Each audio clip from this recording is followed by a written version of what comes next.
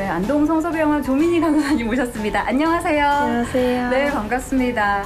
참 인터뷰 부담스럽기도 하셨을 텐데 이렇게 응해주셔서 너무 감사드리고요. 먼저 간단하게 소개 좀 부탁드립니다. 안녕하세요. 저는 성서병원에서 근무하고 있는 조민희라고 합니다. 네, 오, 감사합니다. 아니, 저희도 사실은 뭐 이렇게 뭐 CCM 가수분들, 뭐 기독교계에서 활동하는 많은 분들을 주로 이제 인터뷰하기도 하는데 우리 간호사님도 좀 얼떨떨 하실 것 같아요. 내가 지금 여기서 무엇을 하고 있나라는 생각도 드실 것 같고.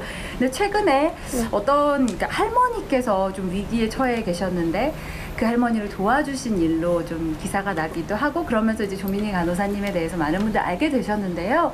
당시 상황을 좀 설명해 주실 수 있을까요? 음, 그때 차를 타고 이렇게 가, 가고 있었는데 네.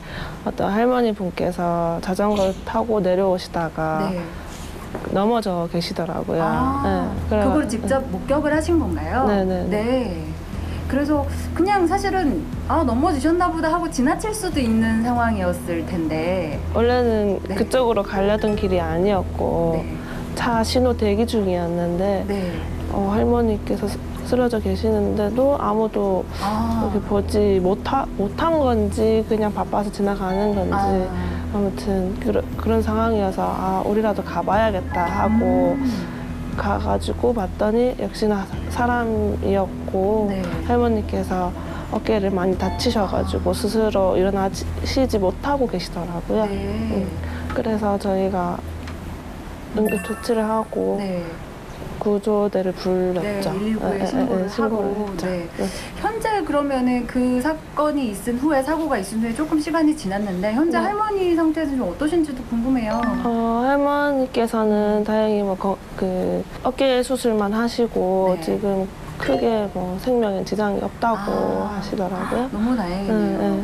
아무래도 직접 그 현장을 보시고 또 음. 구조에 도움을 주셨기 때문에 더욱더 마음이 쓰이셨을 텐데 네. 이후에 좀 할머니를 만나 뵙고 하신 적도 있으세요? 어, 할머니 만나 뵈러 한번 갔었는데 네. 아, 또 치료하러 가시고 이래가지고 네. 못 뵀었거든요. 그 아.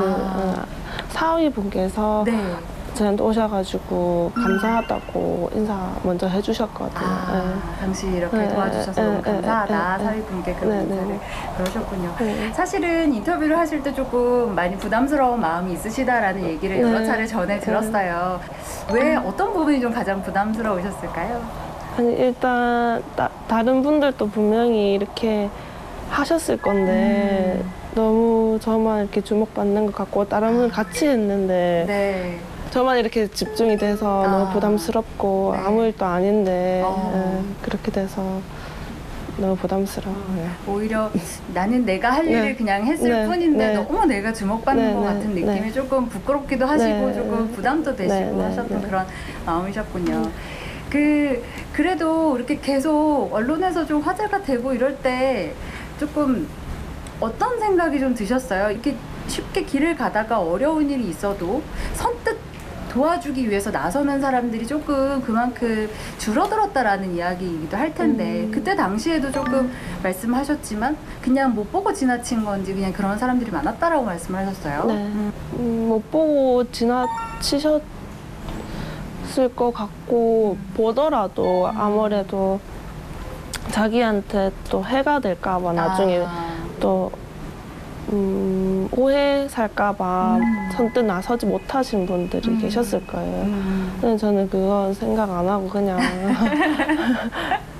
진짜 그렇죠. 그게 사실은 도와주고 싶은 마음이 있어도 선뜻 좀 나서기가 조금 여러 가지 이유로 어려운 분들도 많이 음. 있으셨을 것 같은데 성격상 좀 그렇다고 말씀을 하셨는데 음. 평소 성격이 조금 이렇게, 이렇게 도와주는 일도 잘 나서서 하시고 하시는 편이세요?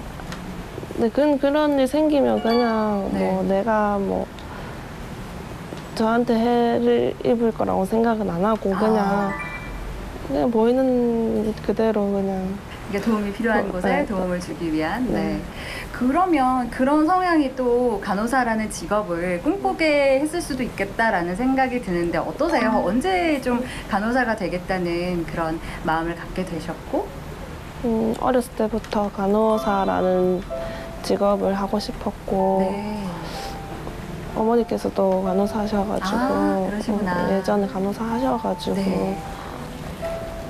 그래서 그걸 보고 자라가지고 네. 그랬던 것 같아요. 네. 처음에는 막 그냥 입사하고 많이 힘들었는데 아. 일이 바쁘고 네. 어, 근무도 좀 힘들고 이래서 좀 힘- 많이 힘들었는데 그때마다 환자분께서 좀 건강 좋아지시고 할 때마다 어, 아 고마웠다고 잘 있다가 간다고 이렇게 음. 네. 해주실 때마다 아 보람을 느끼고 네. 그랬어요. 어, 그 혹시 우리 간호사님 기독교인이신 걸로 제가 알고 아, 있는데, 네. 혹시 그 기독교 신앙이 이번 네. 이렇게 일에 이렇게 서슴없이 남을 도와주고 하는 성향을 갖게 되신 데 배경에 기독교 신앙이 어떤 영향을 주었을까요? 에, 어렸을 때부터 교회를 다녔고 네. 남을 도우면서 살아라 이런 걸 많이 계속 듣고 자랐기 때문에 음. 그랬던 것 같아요. 네. 어떻게 보면 성경에 또 사마리아인의 비유에 대해서도 네. 나오는데 그렇게 네. 쓰러져 있는 사람을 도와주는 네. 그런 역할을 하는데 또 신앙이 한 역할을 음. 하지 않았을까라는 생각이 듭니다. 그 사실 안동 성소 병원이 기독교 병원인 것으로 네. 제가 또 알고 있는데요. 병원 자랑을 조금 해주시면 어떨까요? 이제 입사 3년 차시라고 들었어요. 네. 아무래도 기독교 재단이다 보니까 네. 일하시는 분들도 기독교인이신 분들도 많고 어 그래서 또 환자를 돌볼 때 더 정성껏 돌보는 것 같고 네. 또 이런 이런 일 있음, 있으면서도 많이 다른 분들도 축하해 주시고 그래서 참 감사한 마음이었어요. 네, 좋습니다. 앞으로 이제 3년차 어떻게 네. 보면은 새내기 간호사이시니까 네.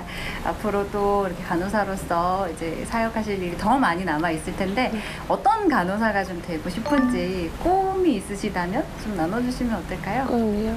아, 아직 3년 차밖에 안 돼서 좀 부족한 것도 많지만 이제 환자분들이 오셨을 때 어, 좀 설명을 잘 하고 싶은데 아. 네, 설명을 잘하는 간호사가 네. 되고 싶어요. 설명을 음. 잘하는 간호사 왜 그런 그러니까 보호자나 환자분들은 이쪽에 대해서 아, 모르시잖아요. 아. 의료 쪽에 대해서 아무리 설명을 해도 네. 뭐 의학 용어로 얘기하고 이렇게 얘기를 하면은 이해를 충분히 못 하시는 경우가 음. 많아요. 할머니 분들이나 그러시면 그러면 그 눈높이에 맞춰서 제가 네. 뭐 더 많이 알아가지고 음. 이렇게 설명을 하는 간호사가 되고 싶어요. 네, 좋습니다. 또 간호사로서 멋진 모습 보여주시기를 저희도 함께 응원하도록 하겠습니다. 네, 오늘 인터뷰 감사합니다. 감사합니다.